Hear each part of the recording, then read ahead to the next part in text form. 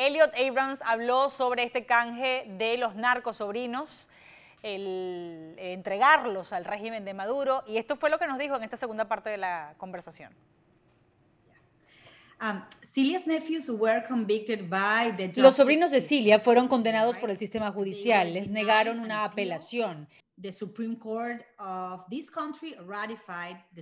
La Corte Suprema de este país ratificó la sentencia. Un jurado también los encontró culpables. La justicia cumplió, pero la política los perdonó. Mi pregunta es, esa palabra de hacerlos responsables, una premisa que repiten las autoridades estadounidenses para advertirle a los criminales que pagarán por sus crímenes, porque aquí hay justicia. ¿Qué valor podría tener ahora para los venezolanos? Well, um, you know, han sido cinco años en una prisión federal y en esa prisión federal fueron tratados como cualquier otro narcotraficante.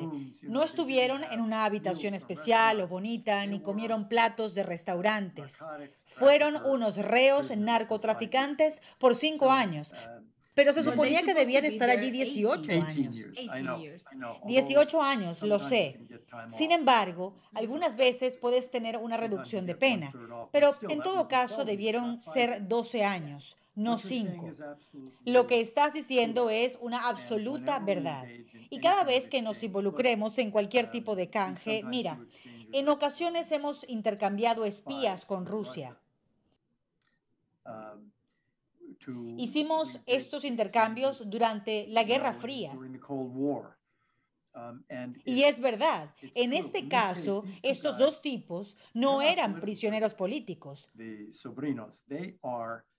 Los sobrinos son unos despreciables narcotraficantes, traficando droga para hacer dinero. Eso es todo lo que eran, el tipo más bajo de criminal. Y creo que todo el mundo entiende eso. Esa es siempre una pregunta difícil. Cualquier presidente quiere poner en libertad a prisioneros estadounidenses. Y en el caso de los hombres de Sidgo, nunca tuvieron un juicio justo. Fueron de manera injustificada apresados.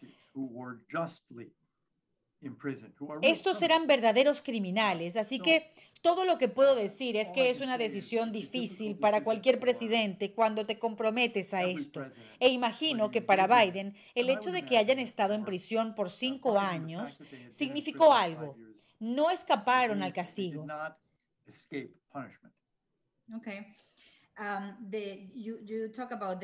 Usted estaba hablando de los trabajadores de Citgo. Ellos eran directivos de la Citgo de Maduro cuando el régimen controlaba la empresa. Entiendo que el Departamento de Justicia los está investigando sobre alguna clase de irregularidad. ¿Qué creará Biden con esta investigación o qué le sugeriría hacer con ella? Esa es una pregunta muy difícil.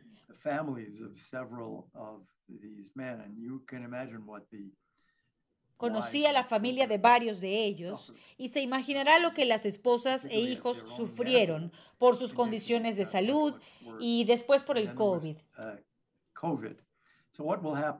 ¿Qué ocurrirá? Pues no sé si el Departamento de Justicia va a continuar investigando esto.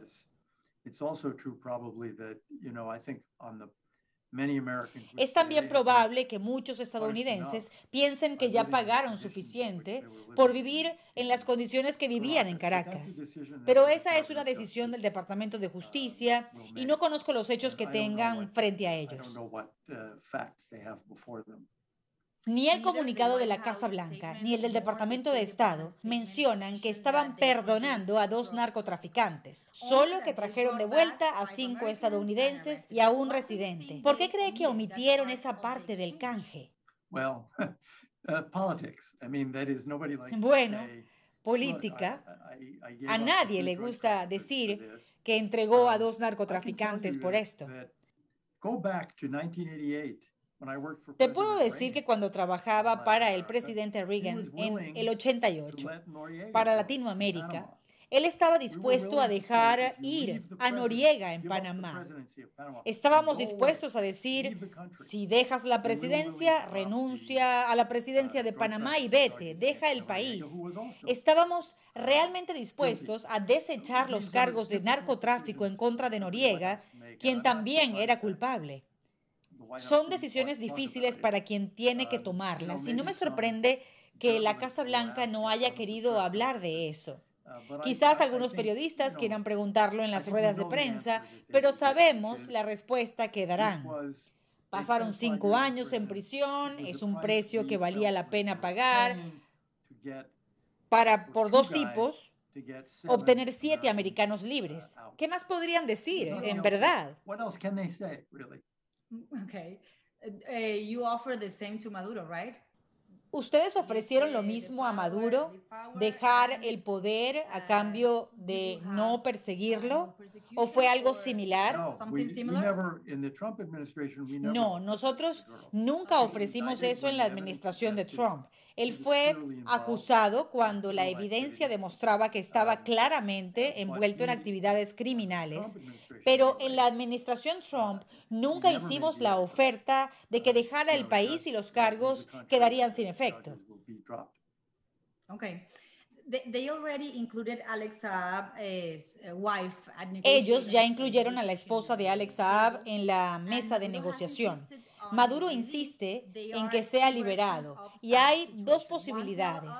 Una nos dice que como no tiene sentencia, pues todavía no puede recibir clemencia.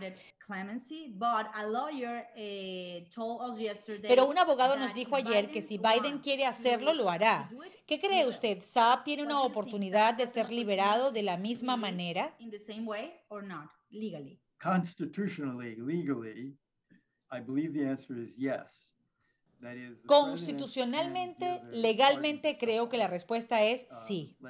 Que el presidente puede conceder un perdón a alguien por un crimen incluso antes que sea sentenciado por ese crimen. Y creo que Trump hizo eso en un par de oportunidades, pero no puedo ver a Biden haciendo eso.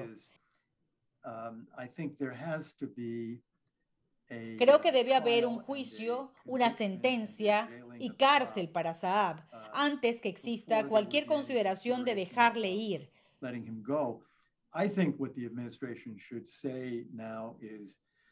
Lo que debería decir la administración ahora es que no hará acuerdos por Saab y en parte porque quieres que Saab hable.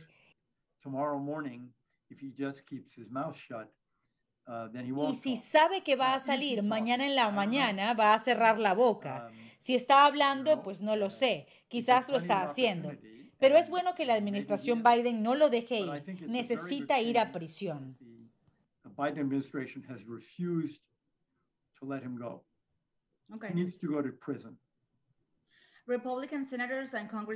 Senadores republicanos y congresistas dicen que Biden entregó a Maduro todo a cambio de nada. Pero Trump de alguna manera intentó negociar con Maduro. Eh, ¿Cuál es la diferencia en el método Trump y el de Biden? Porque entiendo que Trump envió a dos funcionarios a México a negociar con Jorge Rodríguez y él ofreció liberar a todos los estadounidenses a cambio de Saab. Entiendo que nunca mencionaron a los sobrinos. ¿Fue eso lo que pasó? Well, this has been reported in the press. Um, bueno, esto ha sido reportado por la prensa, que Rick Granell viajó a México para verse con Jorge Rodríguez. Puedo decirte que nosotros en el Departamento de Estado, Pompeo o yo, no sabíamos nada y por supuesto no hubiéramos permitido, nos hubiéramos opuesto a esa negociación. Pero es interesante que Rodríguez haya pedido a Saab um, y ese acuerdo no incluye a Saab. Um, Pero tu pregunta es, ¿cuál es la diferencia? La diferencia es quizás que aquí uh, tenías a unas personas en prisión por cinco años.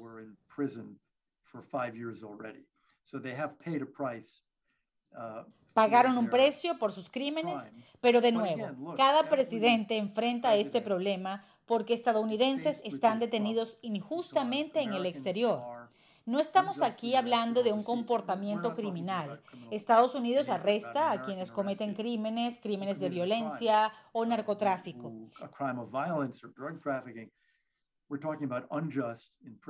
Hablamos de detención injusta y tenemos que discutir esto con Rusia, China, Corea del Norte, Irán, Venezuela. Así que cada presidente enfrenta esto.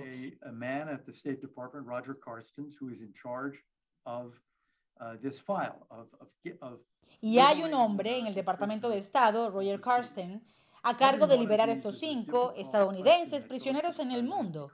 Cada una de estas es una pregunta difícil que va al presidente porque tienes que darle un perdón o clemencia a esas personas en prisión. Es siempre difícil. Algunas veces unos más que otros. A veces quienes están presos en Estados Unidos están llegando al final de la condena, entonces pagaron 10 años, mm, les faltan solo tres meses. Es fácil. Sometimes the crimes they have committed are not drug trafficking. Um, a veces los crímenes uh, que han cometido pues no uh, son por narcotráfico. De nuevo, es más sencillo, pero frecuentemente es difícil con verdaderos criminales. A veces uh, han violado sanciones, en el caso de Irán, o a veces son espías, como en el caso ruso.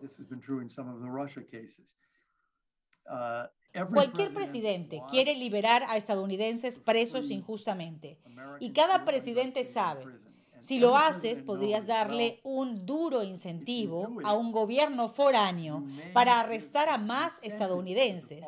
Así que tienen más estadounidenses que canjear. No hay forma de darle la vuelta. Por eso es que es un problema difícil. Y por eso la gente está dividida dentro de Venezuela y aquí en Estados Unidos. Sé que el senador Rich, quien es el republicano número uno en el Comité de Política Exterior, a Biden por sacar a estos estadounidenses, pero el senador Rubio denunció este acuerdo. Entonces, la gente está dividida con respecto a esto. Es duro. Vamos a regresar con la parte final de las reflexiones de Elliot Abrams. En unos segundos, quédense con nosotros aquí en EBTV Miami.